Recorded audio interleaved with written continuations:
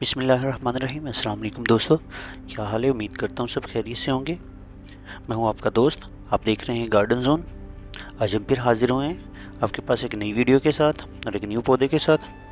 पौधे की केयर के बारे में बताएँगे, किस तरह इसकी केयर होगी, किस तरह इसको ग्रो करेंगे और किस तरीके से ये इसकी जो है अच्छे से ग्रो होगी। पोनीटेल या नोलिना पाम लेके इंडोर प्लांट है।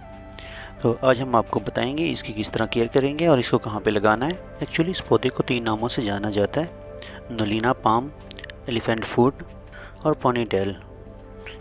इस पौधे का जो है स्टेम नीचे से एज लाइक हाथी के फुट जैसा होता है। इसलिए इस पौधे को एलिफेंट फुट भी बोलते हैं।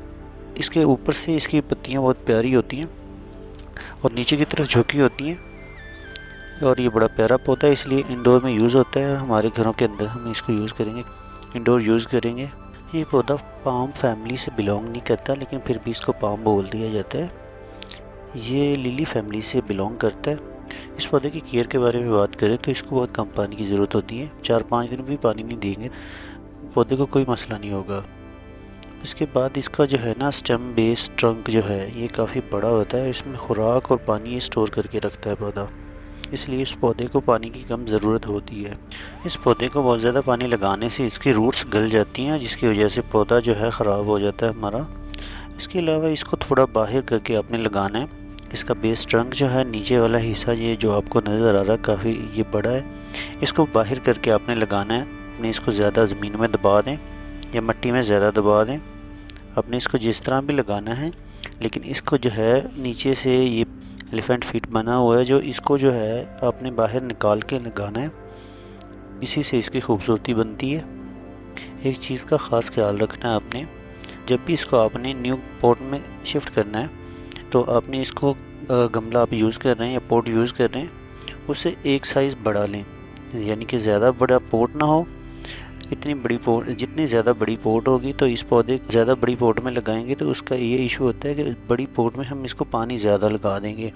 तो उसमें से पानी ड्रेन आउट कम होता है और पॉट में नमी बाकी रहती है, जिसकी वजह से हमारा पौधा है ना, ये मर जाएगा।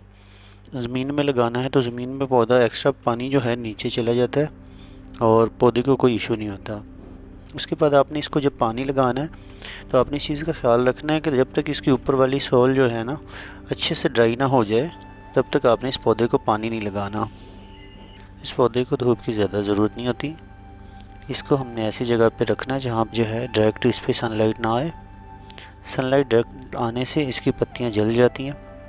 इसको हमने ऐसी जगह पे रखना है जहाँ पे सुबह या शाम में धूप आए, उस जगह पे ये अच्छे से ग्रो करेगा। और अगर हम इसको ज़मीन में लगाते हैं तो अलग बात है। अगर इस पौधे को नीचे से पानी कम लगेगा तो ये नीचे से श्रिंक होना शुरू हो जाएगा। इसकी जो बेस में ये है, नीचे है स्टेम है इसका, ये श्रिंक होना शुरू हो जाएगा। तो इसलिए इस चीज़ का ख्याल रखें, अगर पानी कम लगेगा तो यहाँ पे नीचे से श्रिंक होना शुरू हो जाएगा।